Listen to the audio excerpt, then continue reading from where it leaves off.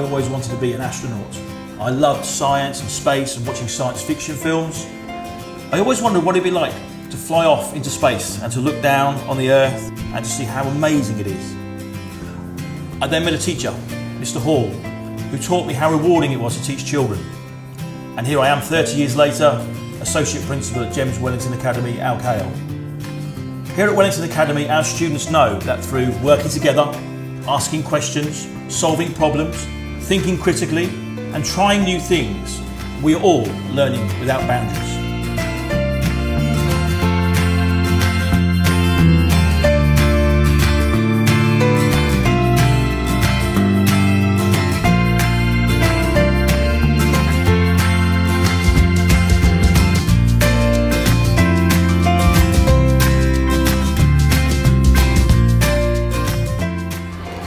To study really hard to be a doctor. I'm going to work really hard to be like a police officer. I'm going to train really hard in, in PE because I want to be a footballer.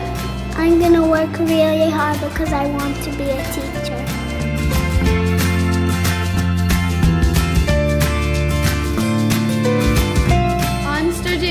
Biology at WEC because I want to be a vet when I'm older.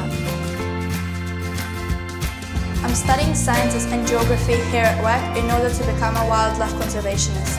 I am going to study drama at GCSE in WEC because I'm going to be a stage actress. In year 10, I'll be studying English as a GCSE so I can be a writer when I'm older. I'm studying GCSE French at WEC because I want to work on the cruise liner. At WEC, I am studying GCSE English, Business and French because when I leave, I would like to be a lawyer.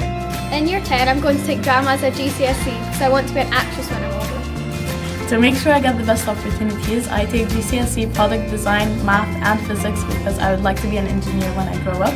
I also take GCSE computer science to build in my choices. It doesn't matter what you want to be in the future.